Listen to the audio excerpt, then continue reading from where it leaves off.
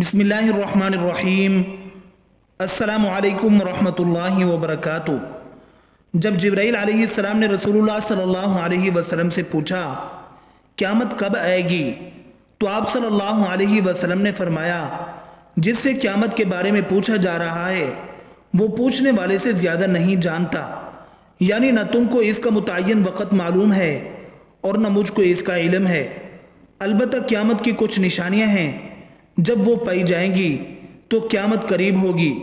जब मुआशरे में ये बुराइयाँ कसरत से फैल जाएँ और गैर मामूली तौर पर इनका दौर दौरा हो जाए तो समझ लेना चाहिए कि अल्लाह का सख्त तरीन आज़ाब खा वो किसी शक्ल सूरत में हो, इस मुआशरे पर नाजिल होने वाला है और दुनिया के ख़ात्मे का वक़्त करीब तर हो गया है।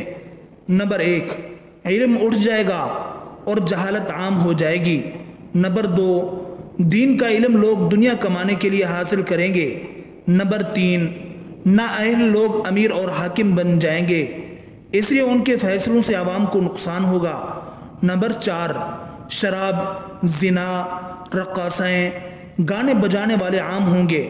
नंबर पाँच, लोग उम्मत के पहले बुज़ुर्गों को बुरा भला कहने लगेंगे। नंबर छः सिस्टम को करप्ट लोग चलाएँगे और ईमानदार लोग मजबूर हो जाएँगे। अलबत् बुराई इसलिए ज़्यादा नहीं कि बुरे लोग ज़्यादा हैं, बल्कि इसलिए ज़्यादा है कि अच्छू ने बोलना बंद कर दिया है।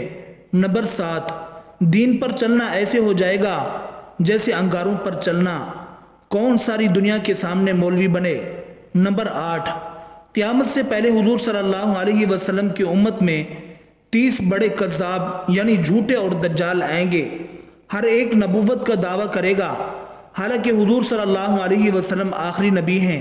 नंबर नौ क़यामत की निशानियों में सख्त किस्म के आज़ाब यानी सुर्ख आंधियाँ चलना, आसमान से पत्थर बरसना, लोगों का ज़मीन में धंसना, लोगों की शक्लों का मसक हो जाना भी शामिल है। नंबर दस, क़्यामत की निशानियों में धुआँ, दज्जाल, ज़मीन से जानवर का निकलकर, लोगों की पिशानियों पर काफिर या मोमिन लिखना, सूरज का मगरब से तुलू होना, इमाम महदी अलैहिस्सलाम का तशरीफ़ लाना हज़रत ईसा का आसमान से उतरना। नंबर ग्यारह, क्यामत कायम नहीं होगी। यहाँ तक के लोगों में से ज़्यादा कमीना दुनिया में सबसे ज़्यादा खुशहाल होगा। नंबर बारह याजूज माजूज कौम का निकलना। नंबर तेरह, बादशाह जुल्म करेंगे, नाप तोल में कमी की जाएगी। नंबर चौदह, क्यामत कायम न होगी, यहाँ तक के लोग मसाजिद के बारे में फ़ख्र करेंगे। नंबर पंद्रह, क्यामत की निशानियों में से है कि बुरी बात करना बद कलामी करना कता रहमी अमीन का ख़यानती होना और ख़यानती का अमानतदार होना। नंबर सोलह, क़यामत के कुर्ब की निशानी है चाँद का मोटा होना और ये कि जब चाँद को देखा जाए तो दूसरी तीसरी रात का महसूस हो। नंबर सत्रह, नेक लोग एक एक होकर दुनिया से रुखसत हो जाएँगे, घटिया लोग बच जाएँगे भूसी खजूरों की तरह। नंबर अठारह, झूठे को सच्चा और सच्चे को झूठा समझा जाएगा। नंबर उन्नीस, क्यामत की अलामत में से है कि बेगानों से दोस्ती और करीबी रिश्तेदारों से बेगानगी और कता रहमी का सलूक किया जाएगा। नंबर बीस, क्यामत की निशानियों में से है कि हर कबीला का सरदार यानी वडेरा, रईस वगैरह मुनाफिक होगा और बाज़ार फासिकों और फाजरों से भरे होंगे। नंबर 21 कबीला में मोमिन की हैसियत बकरी के छोटे और जलील तरीन बच्चे जैसी होगी। नंबर 22 मस्जिदों की मेहराबें खूबसूरत रंग बरंगी बनाई जाएँगी, लेकिन दिल वैरान होंगे। नंबर तेईस, मस्जिदें मज़बूत और पुख्ता बनाई जाएँगी और मनाबिर बहुत ज़्यादा ऊँचे बनाए जाएँगे। नंबर चौबीस, वैरान शहरों को आबाद किया जाएगा और आबाद शहरों को वैरान किया जाएगा। नंबर पच्चीस, क्यामत की निशानियों में से है कि लाभ यानी गाने बजाने के आलात जहर होंगे और शराबें बकसरत पी जाएँगी।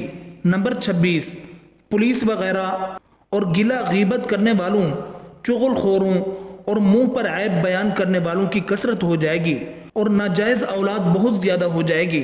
नंबर सत्ताईस। क्यामत की निशानियों में से है, खास लोगों को सलाम करना, कता रहमी झूठी गवाहियाँ, शहादत हक का छुपाना। नंबर अट्ठाईस। शराब आम हो जाएगी, शराब का नाम बदल कर पिया जाएगा। सूद को तिजारत का नाम देकर हलाल करार दिया जाएगा। रिश्वत हदिया के तौर पर ली जाएगी। जक़ात के बदले तिजारत की जाएगी। नंबर उनतीस, जब औरतें औरतों से और मर्द मर्दों से बेनियाज हो जाएँ तो मशरक की तरफ़ से सुर्ख आंधियों का इंतज़ार करो। इससे बाज की शक्लें बदल दी जाएँगी और बाज धनसा दिए जाएँगे उनकी नाफरमानी की वजह से जो वो करते थे। नंबर तीस, क्यामत की निशानियों में से है कि माल गनीमत ज़ाती दौलत माल समझा जाएगा। नंबर इकतीस, क्यामत की निशानियों में से है कि अमानत को गनीमत और ज़क़़त को तावान समझा जाएगा। इल्म दीन की बजाय किसी और ख्वाहिश पर पढ़ा जाएगा। मसलन मुलाजमत वगैरह। नंबर बत्तीस, क्यामत की निशानियों में से है कि मर्द अपनी औरतों की इतात करेगा और माँ की नाफरमानी करेगा। दोस्त को करीब लाएगा, बाप को दूर करेगा। मस्जिदों में आवाज़ें बुलंद होंगी। नंबर तैतीस क़ुरब क़ियामत में रेशम पहनने की कसरत और तजारत बढ़ जाएगी, माल की फरावानी होगी, साहिब माल की माल की वजह से तज़ीम की जाएगी, बच्चों की हकूमत होगी, औरतें ज़्यादा हो जाएँगी। क़ियामत की ये अलामत हैं जो रसूलुल्लाह सल्लल्लाहु अलैहि ने बयान फरमाई। रसूलुल्लाह सल्लल्लाहु अलैहि ने फरमाया, जब ये अलामत पाई जाएँ तो उस वक़्त इंतज़ार करो, सुर्ख आंधी का और जलजले का और ज़मीन में धंसने का।